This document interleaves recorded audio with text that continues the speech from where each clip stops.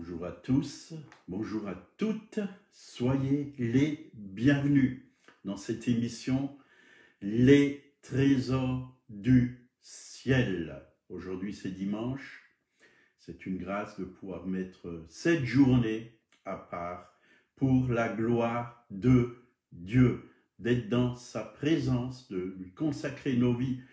Je vous salue, oui, tous ceux qui sont vraiment... Euh, sur euh, le direct. Hervé, sois béni, sois bienvenu. Michel, sois bienvenu. Aujourd'hui encore, nous voulons proclamer que ce jour est un jour de victoire. Parce que Dieu est un Dieu de victoire. Parce qu'il est avec nous chaque jour jusqu'à la fin du monde.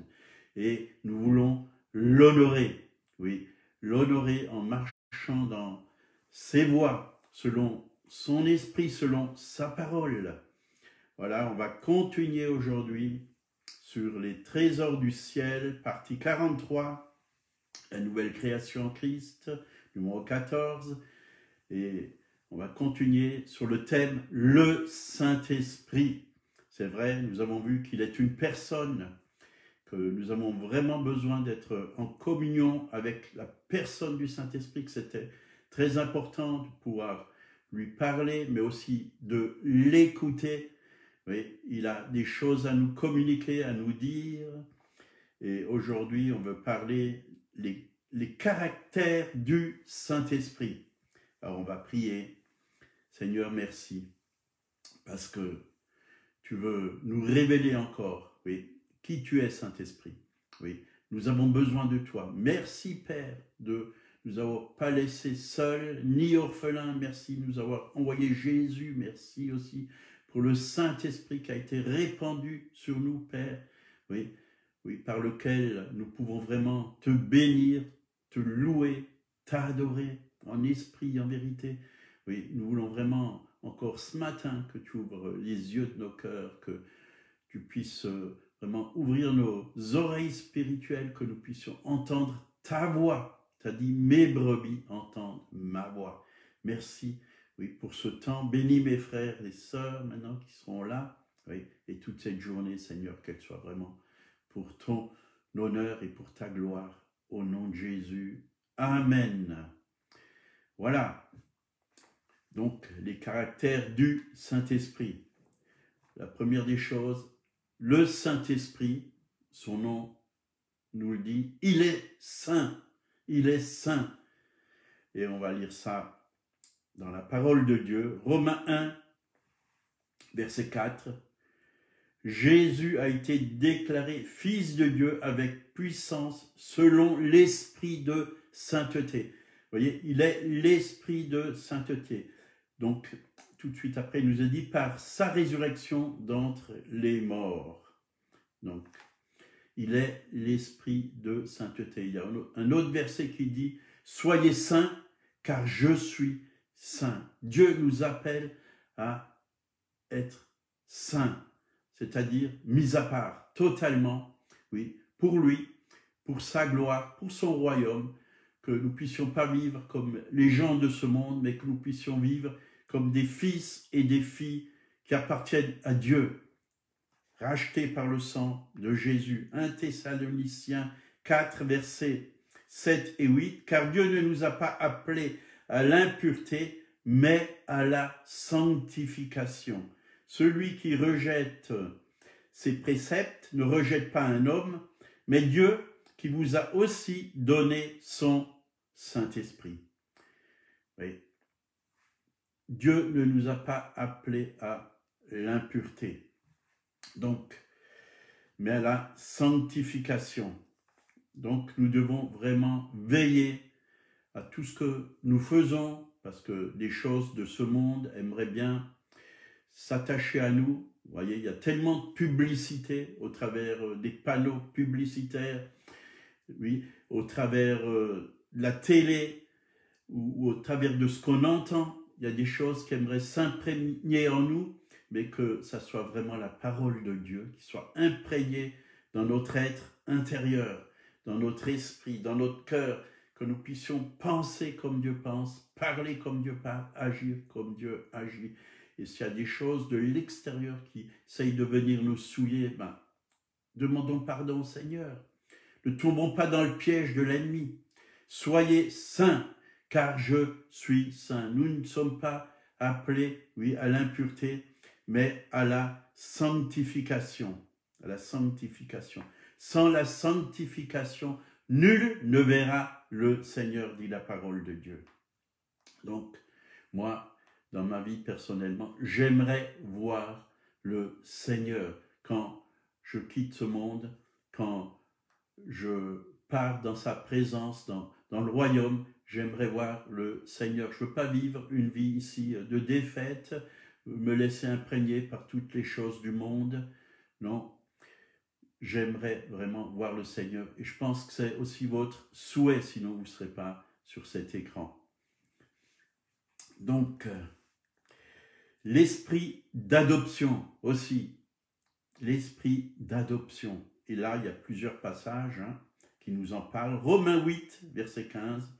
Vous n'avez point reçu un esprit de servitude être encore dans la crainte, mais vous avez reçu un esprit d'adoption par lequel nous crions Abba, Père. On a été adopté. L'esprit d'adoption, c'est le Saint-Esprit qui est venu en nous et qui nous a fait connaître le Père. Et maintenant, nous pouvons l'appeler Papa, Père.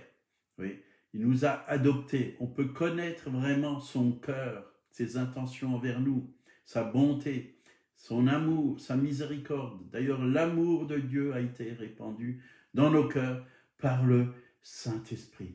Oui. Nous ne sommes plus orphelins. Voyez, moi je sais ce que c'est être orphelin. Parce qu'à l'âge de 8 ans, j'étais plus avec mon père ni avec ma mère. On m'a placé dans un orphelinat ici à Colmar. Et je sais ce que c'est que d'être orphelin. Il y avait une grande solitude qui s'est installée dans ma vie et je ne savais pas à qui, oui, euh, dire mes difficultés, à qui poser toutes les questions qui étaient au fond de moi-même sur la vie et sur toutes sortes de, choses que je ne comprenais pas. J'étais orphelin. J'avais des douleurs à l'intérieur. J'avais des souffrances à l'intérieur. Mais gloire à Dieu, l'Esprit d'adoption. Le Saint-Esprit est venu, oui, et a guéri mon cœur. Le Saint-Esprit m'a donné vraiment un cœur nouveau, oui. J'ai été libéré, oui, de toutes ces choses qui pesaient dans, dans mon être intérieur, tout ce vide.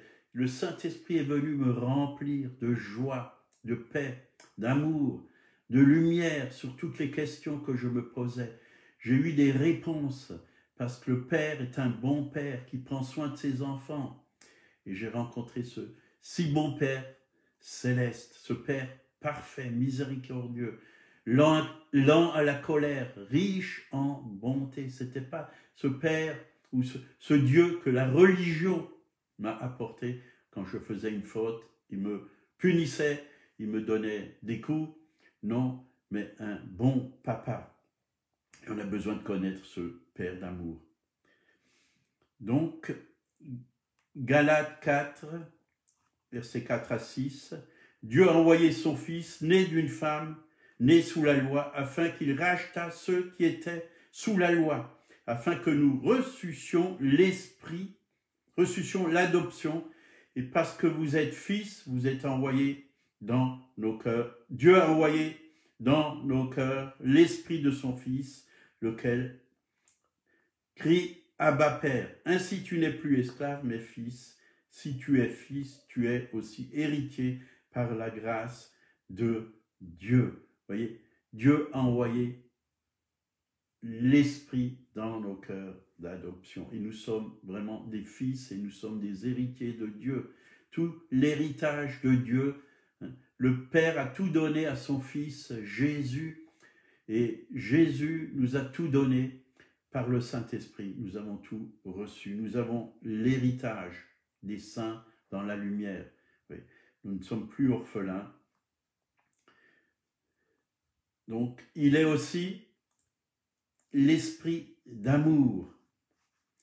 Et là, dans Galates, chapitre 5, verset 22, il nous est parlé pas des fruits du Saint-Esprit, mais le fruit du Saint-Esprit. Le fruit. Là, il nous a dit, le fruit du Saint-Esprit, c'est l'amour, le fruit. Vous voyez, c'est comme une orange. J'explique toujours une orange qui a plusieurs quartiers. Il y a l'amour, le tout, tout le fruit, c'est l'amour. Mais dans l'amour, il y a la paix, il y a la joie, il y a la bonté, il y a la douceur, il y a la maîtrise de soi, ainsi de suite. Il y a, tout ce dont nous avons besoin dans l'amour. Et quand on est dans l'amour, on est vraiment dans la perfection. On porte ce fruit, on porte la douceur, on porte la joie, on porte la paix, on porte toutes ces choses à l'intérieur de nous. Nous manifestons ce fruit de l'esprit qui est l'amour.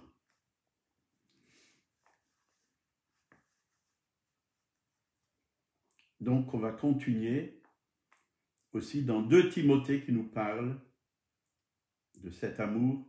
2 Timothée chapitre 1 verset 7. Ce n'est pas un esprit de timidité que Dieu nous a donné, mais un esprit de force, d'amour et de sagesse. Là, il y a trois choses. Hein. Le Saint-Esprit est un esprit de force.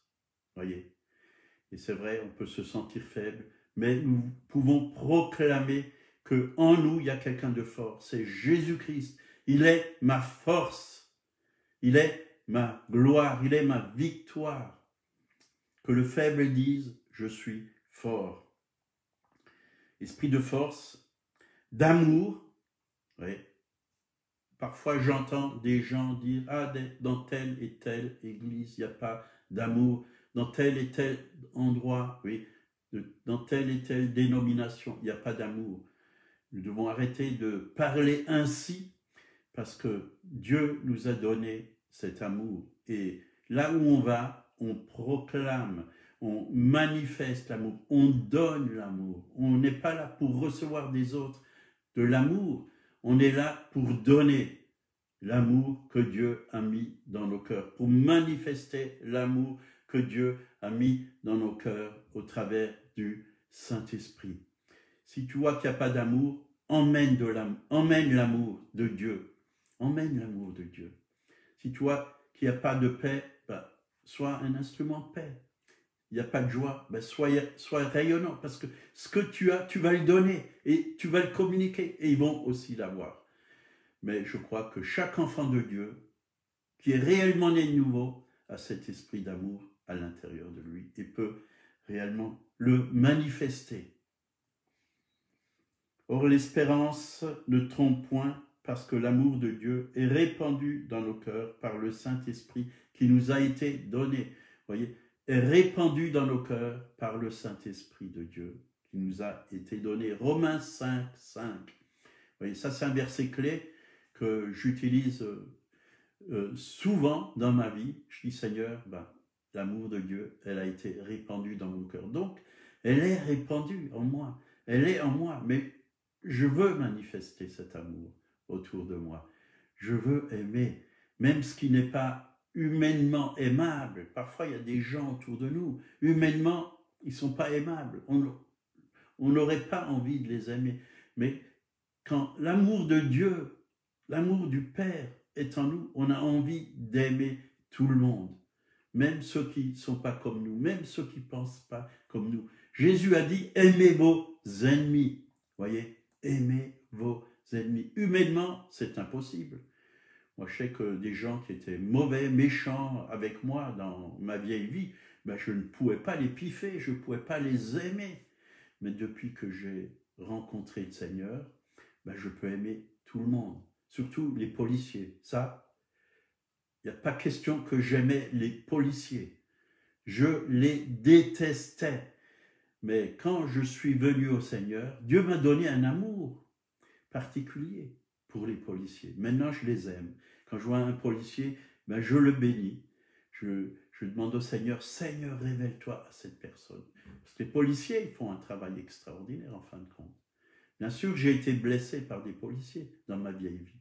Injustement, c'est pour ça. Mais Dieu m'a guéri. Et je peux aimer je peux aimer. Il est l'esprit d'adoration. Jean 4, verset 23. L'heure vient, et elle est déjà venue, où les vrais adorateurs adoreront le Père en esprit et en vérité, car ce sont là les adorateurs que le Père demande. Adorer Dieu en esprit et en vérité. C'est tellement merveilleux d'adorer Dieu en esprit et en vérité. Voyez, moi, ce que j'aime beaucoup dans l'adoration, c'est de, de, chanter en langue.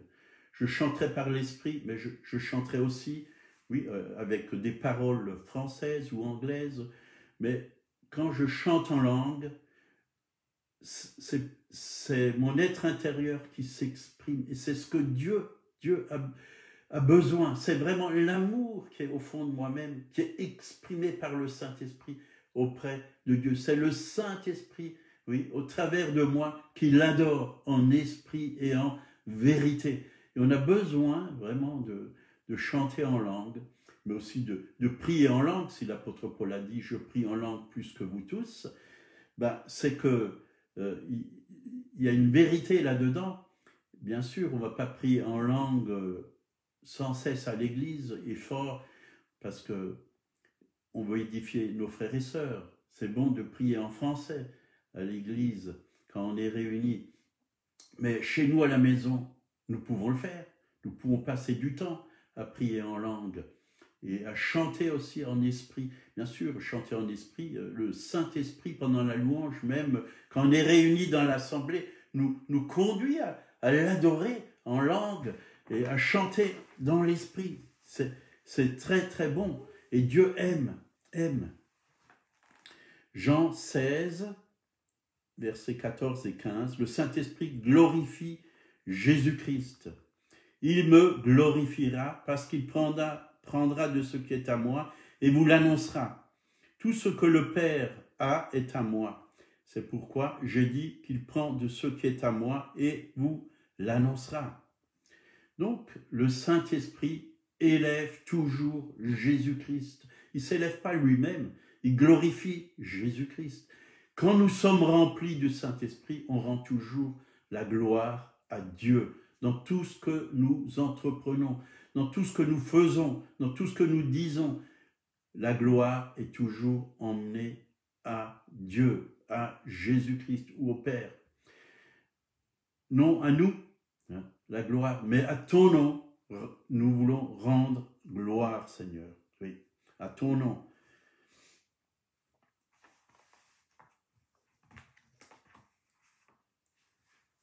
Donc le Saint-Esprit nous remplit de la vie glorieuse de Jésus-Christ. 1 Corinthiens 12, verset 3. Là, il nous a dit, c'est pourquoi je, je déclare que nul, s'y parle par l'Esprit de Dieu, ne dit Jésus est anathème, et que nul peut dire Jésus est Seigneur si ce n'est pas le Saint-Esprit. Vous voyez, le Saint-Esprit, on, on nous remplit pour que Jésus-Christ soit glorifié. On ne peut pas, si on est rempli du Saint-Esprit, on ne peut pas dire quelque chose de mauvais de Jésus-Christ ou de Dieu. Mais on ne peut que élever Jésus-Christ. On ne peut que le glorifier. Donc il a aussi l'esprit de vie. Romains 8, verset 2. La loi de l'esprit de vie en Jésus-Christ m'a affranchi de la loi du péché et de la mort. C'est l'esprit de vie.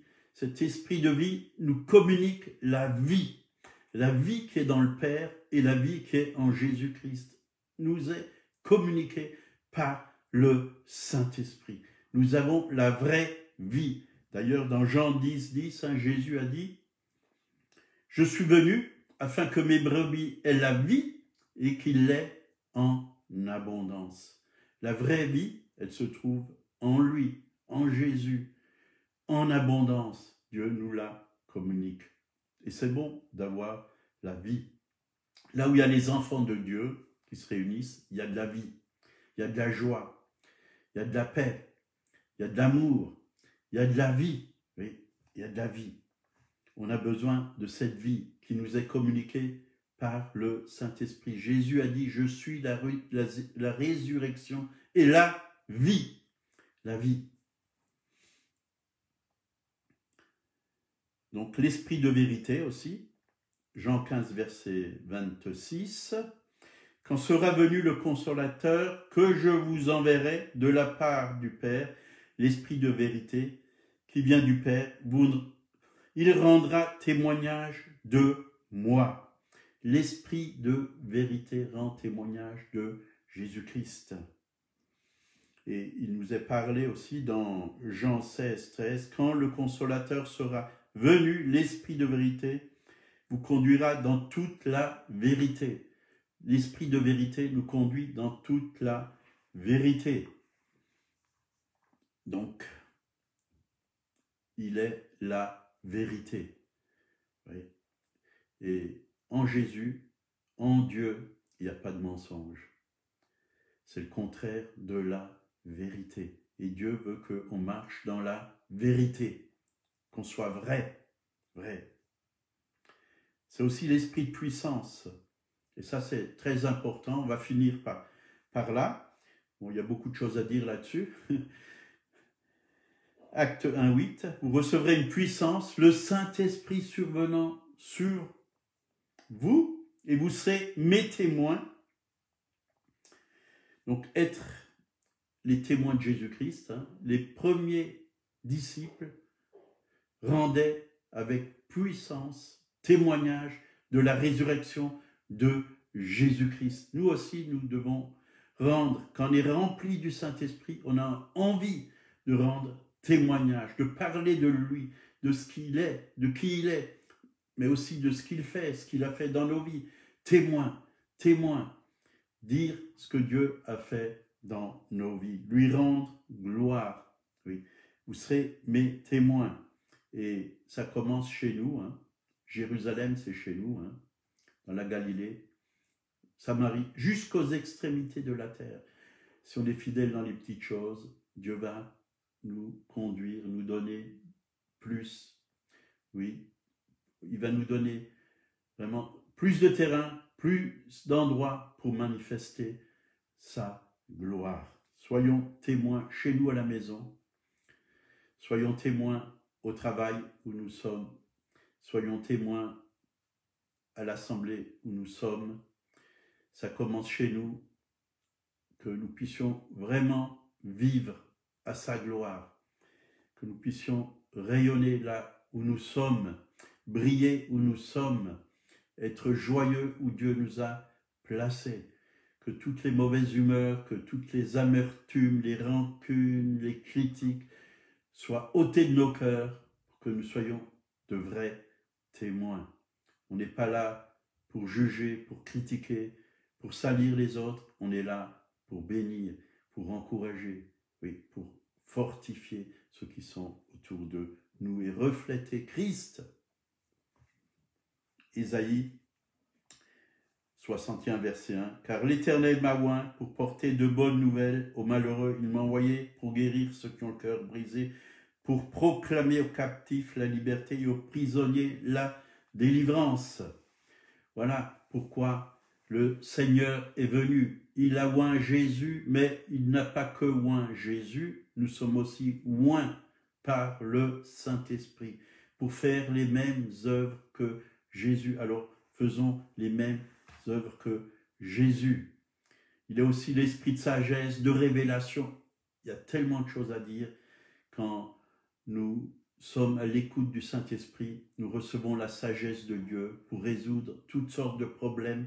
Nous recevons l'esprit de révélation. Dieu nous révèle encore davantage qui il est et qui nous sommes en lui. Et ainsi de suite. On va s'arrêter là. Merci Seigneur pour ce temps que nous avons passé dans ta présence. Tu nous as encouragés, tu nous as fortifiés. Merci que nous puissions être tes témoins, te glorifier où tu nous as placés, Seigneur. Merci, Seigneur, pour mes frères et sœurs. Que cette journée soit une bonne journée pour chacun et chacune, Seigneur, et que vraiment, s'il y a des malades, que Dieu puisse toucher la partie où vous êtes malade, et vous rétablir dans la santé, parce qu'il est le Dieu de la guérison. Si vous ne connaissez pas Jésus, je le dis tous les matins, vous pouvez venir à lui. Il vous aime. Ouvrez-lui votre cœur et dites-lui, révèle-toi à moi, fais-toi connaître à moi. Oui, si tu es le créateur de toutes choses, alors que je puisse te rencontrer. Un jour, je l'ai rencontré, oui, a 44 ans. J'ai rencontré Jésus au travers d'une jeune fille qui m'a parlé de lui. Je l'ai accepté comme mon sauveur et tous mes péchés ont été lavés, pardonnés. J'ai reçu une vie nouvelle, un cœur nouveau et je suis heureux de le connaître, de le servir et d'apporter sa parole chaque jour. Que Dieu soit béni. Voilà, passez une bonne journée. Je serai ici demain à 8 heures. Au revoir.